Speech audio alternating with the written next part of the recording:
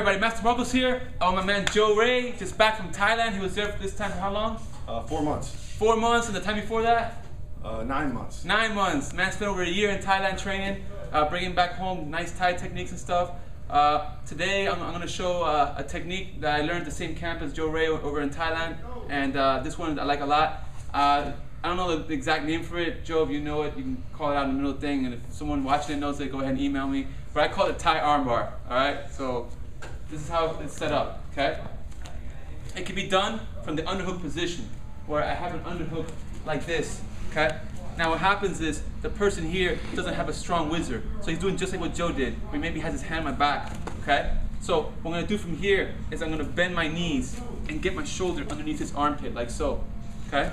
And once I get my shoulder under his armpit, this hand's gonna reach over and grab the front of his forehead, okay? As I do that, my other hand's gonna come to the crown of the head. Don't grab the back, but the crown, okay? Now, I'm gonna step back with my leg here. As I step back, I'm gonna yank the head downwards and bring it down this way, okay? And you see my head? It stays up. This traps the arm here.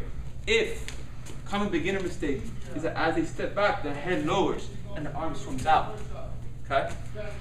From here, I come to here, I come there, I step back, my head up here, this arm is trapped. Now the hand, the head keeps the arm low. This hand, the forehead keeps the other arm. I mean, this hand, the head keeps his head low. The other hand, the forehead keeps his arm locked. And from here, I throw knees, bang, bang. You can also walk him to the fence here, push him up against it, and start throwing knees and short elbows. Okay? Now, I'm gonna add like two or three techniques to this. We have a bundle of techniques this time. So now, if I get here and I get to this position, but I can't lower his head, he stays upright, and I can't lower his head. So I'm here like this, okay?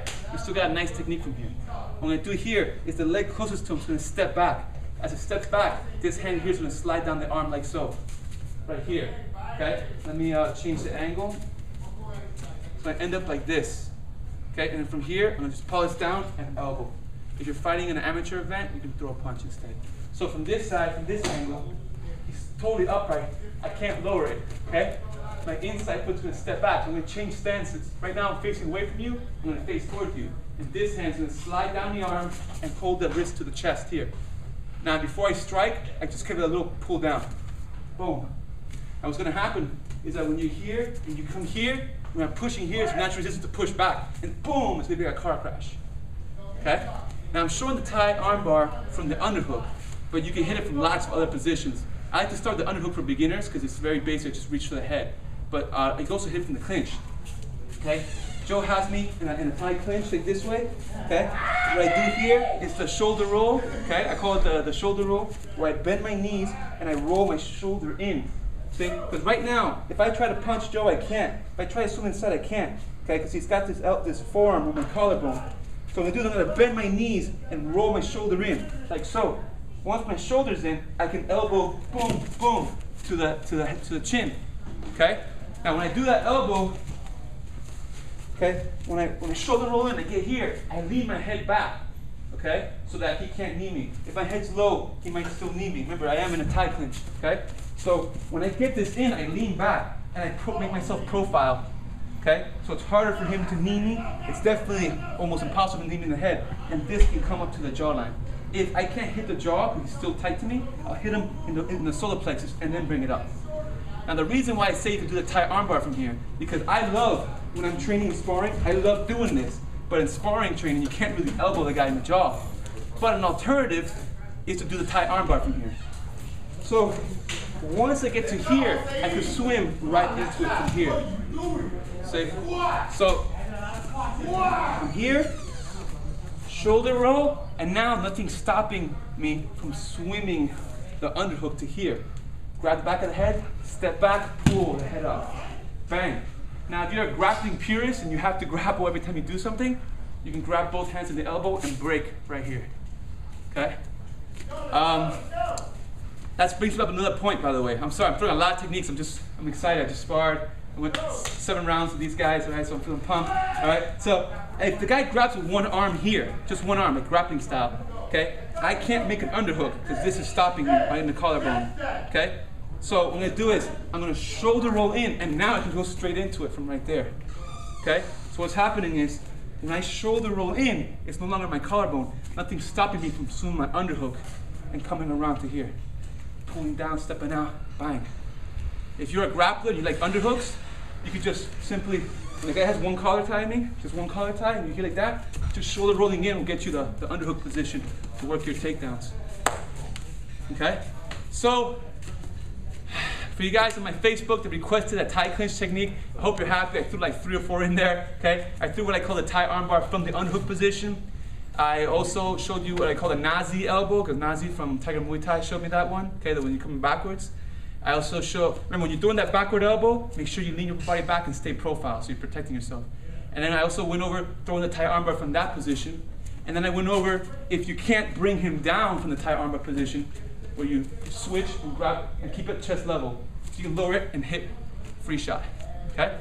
And I did this all on Mr. Joe Ray, superstar. Alright? When's your next fight, man? Uh, October 9th. October 9th in Greece, correct?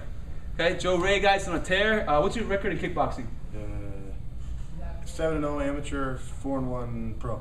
4 1 in Thailand, correct? Did five Thai fights. Guy's a maniac, right? Uh, so that's what? Uh, 4 and 1, 7, 11, 11 and 1? Yeah. 11 and 1 in his kickboxing career and MMA pro. Amateur, you did one amateur fight? 1 0 amateur, 4 0 pro. So 4 0 is a pro, 1 0 amateur, 5 0 as a pro. You got like what, 17 victories in combat, amateur and pro put together? Yeah. 17 and 1 record. Like the math? You see how I do the math? I get 1 and 0, 4 and Yeah, 0, I combine them all, right? 17 and 1 fight record, right? Amateur and pro. And now he's going to be fighting in Greece. Uh, Joe's a superstar, man. I'm looking forward to seeing a lot more from him, and it's good to have him back. All right, guys. Uh, I'm gonna start posting videos again like I used to. Start putting them up, pumping them out every day. Uh, just hit me up on my Facebook fan page at marcosavalonfans.com. And whenever you want to see a certain kind of technique and stuff, just put it up there so I know you guys want to see, and I'll put it out there. Submissions, takedowns, uh, ground pound pins, uh, Thai clinch techniques, uh, elbow techniques, whatever it is you guys want to see, put it up there, and uh, I'll put what I got. Thanks everybody. Also, if you're in Miami, Florida, or in Davie, anywhere in South Florida, we got schools. Uh, we got two gyms.